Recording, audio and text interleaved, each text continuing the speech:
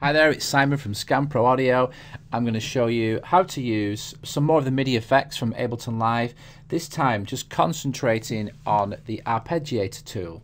Um, it's just a really simple effect you can drag and drop in and it helps you to play arpeggios which basically mean if you're playing a chord and holding down uh, more than one note, the arpeggiator will pick those notes and play them individually. And you can set how often, how fast, that kind of thing. I'll show you really quickly. Um, I'm going to use one of Ableton's built-in instruments. Uh, I've already chosen it, but I'll just show you how I got that.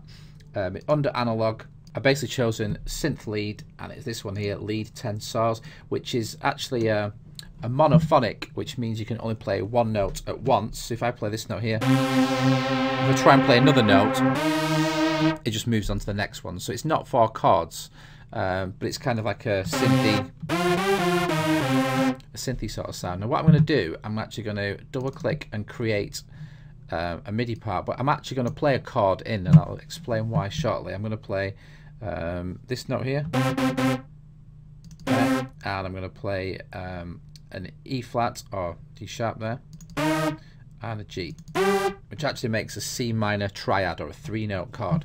I'm going to extend that for a full bar over to there. So now if I play this now, it will probably only play just the, the bottom note because it's a, as I said before, it's a monophonic. So this is what will happen if you just play it. It just plays one of the notes. Actually, the, it played the highest note. But what I'm going to do, I'm going to get the arpeggiator to play and pick these notes to play. So it's got a chord to play from.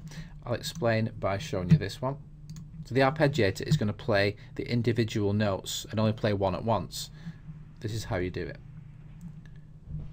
So if I go back to instruments here, close that one, and I've got MIDI effects.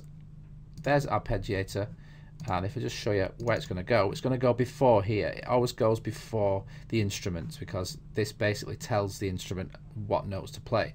So if I drag this here, let go, and then this is the little box arpeggiator. If you've got your info view there, it can tell you what all these buttons do, but I'll just give you a, a, a quick explanation. If I press play now, what it'll do is it will play um, at the rate of an eighth note, which is a quaver to any musicians there that know the the musical divisions. But if I press play there, what it's doing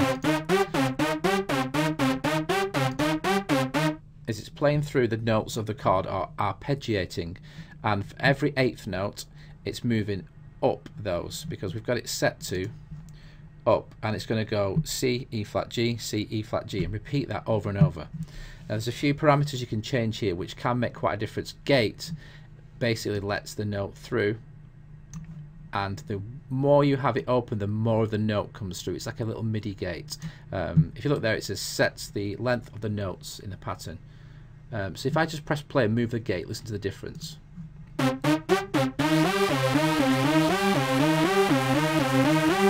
So the more you have it open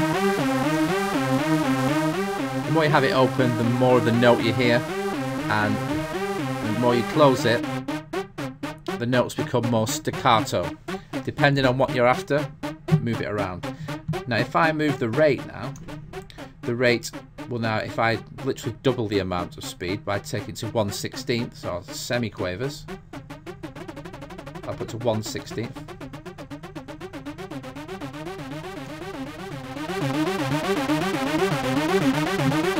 And again, that's using still the same pattern,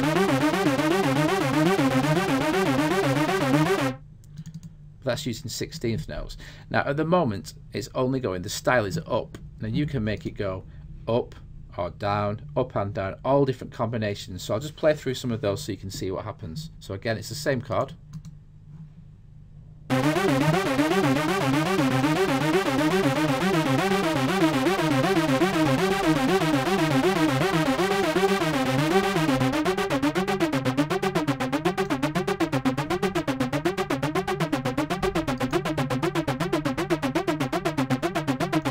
You can also add a different groove to it as well. I'm going to put it on up and down and change it to a swing.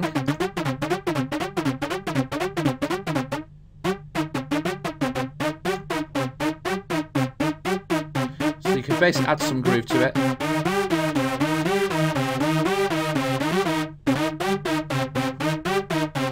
Now to get it to try and work, I'm going to put um, put a drum loop on so you can hear what it sounds like when it's, it's played along with something that you may be working with.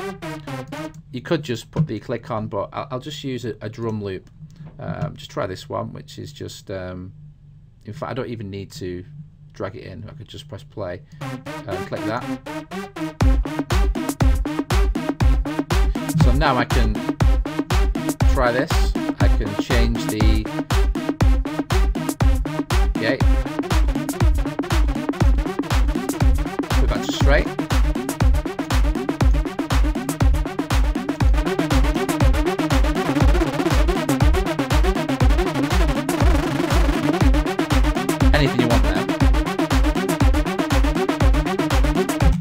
What you can also do is where it says steps here, you can change the range of the octaves. At the moment is only playing these notes here. But what this button does, steps, is it will play into different octaves if you were playing it higher up on the keyboard. So if I press this now, I'll move up to two.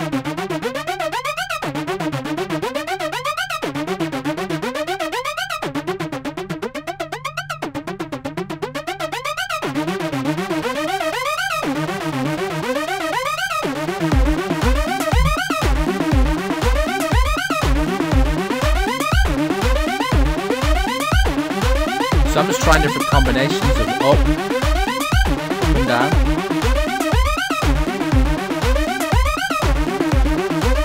I can go all the way up to here.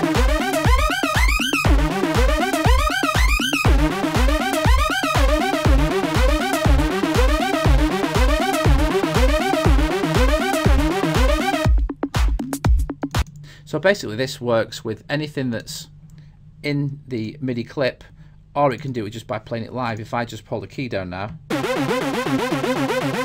that's just one key, and it's obviously only got one note to play. So as soon as I hold another note down, this is a C, and I hold a G down, it will alternate between those two notes.